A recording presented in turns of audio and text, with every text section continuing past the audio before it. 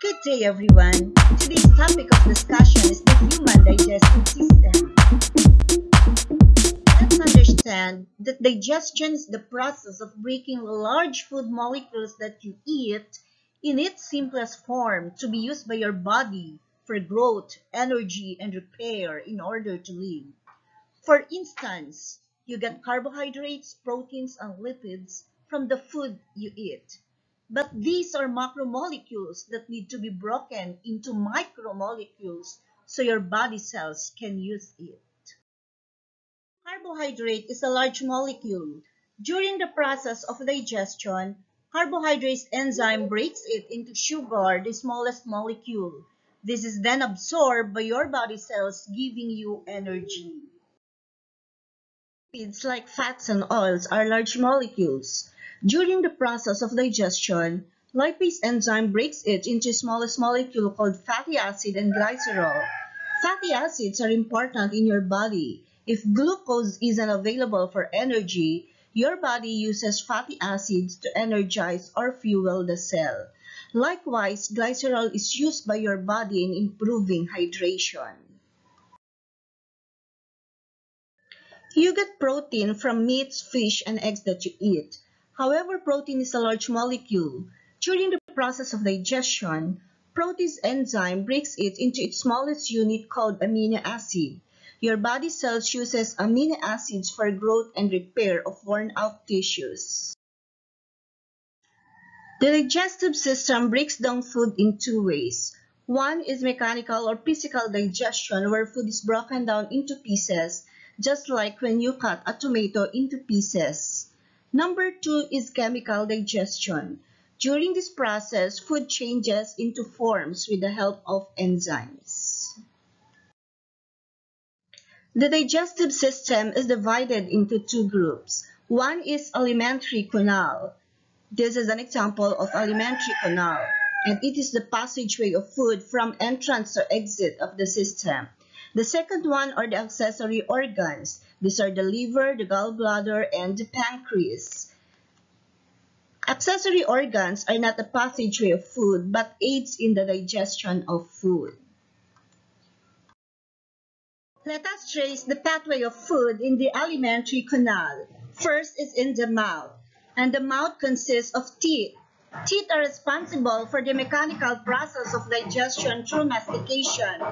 Mastication is the process of cutting, tearing, and grinding of food and mixing it with saliva. In the mouth, there is also a tongue, and the tongue assists in swallowing the food that we eat.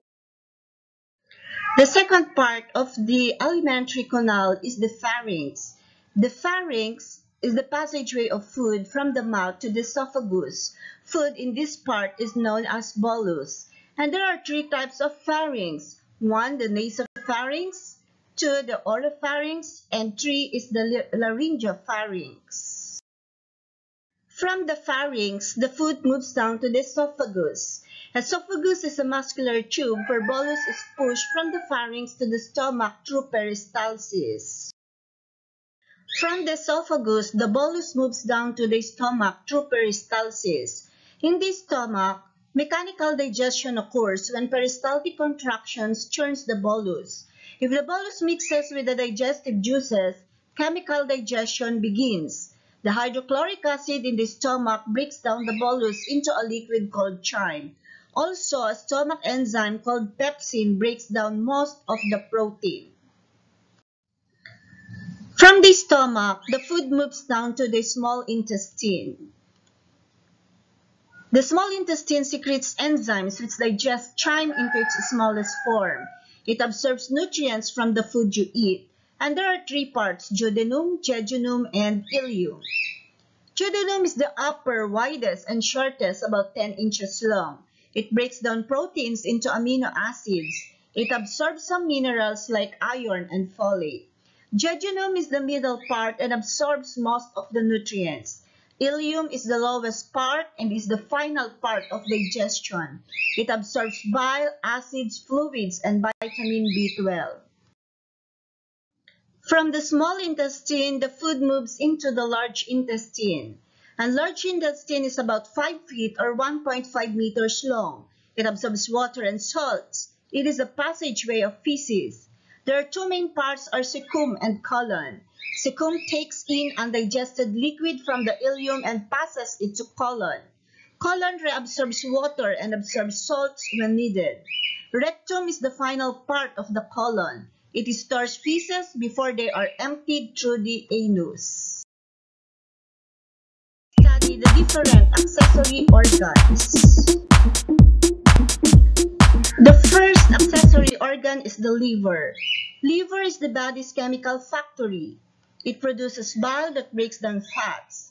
It detoxifies harmful chemicals to the body.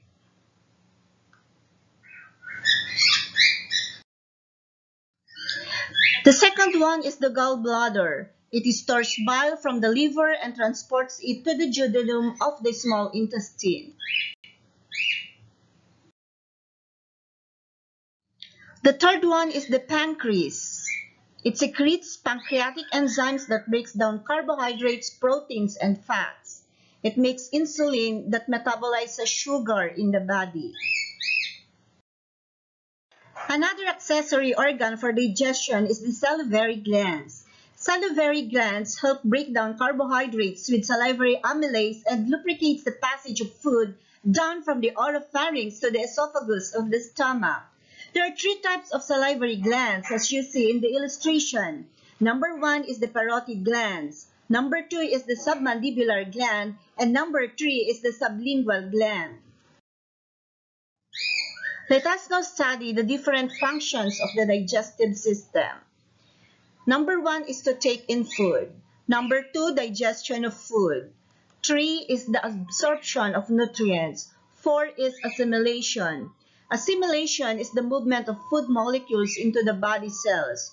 For example, amino acid is used to build proteins.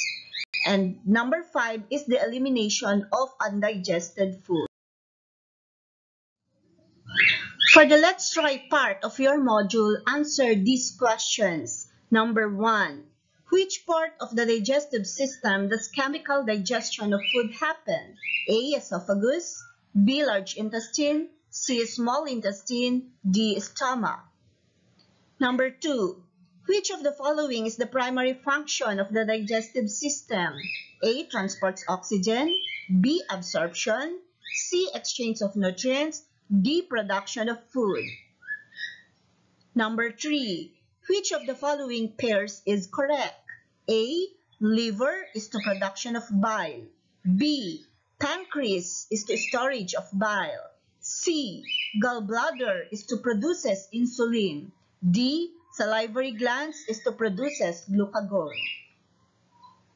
Number 4. Which of the following explains the process of digestion?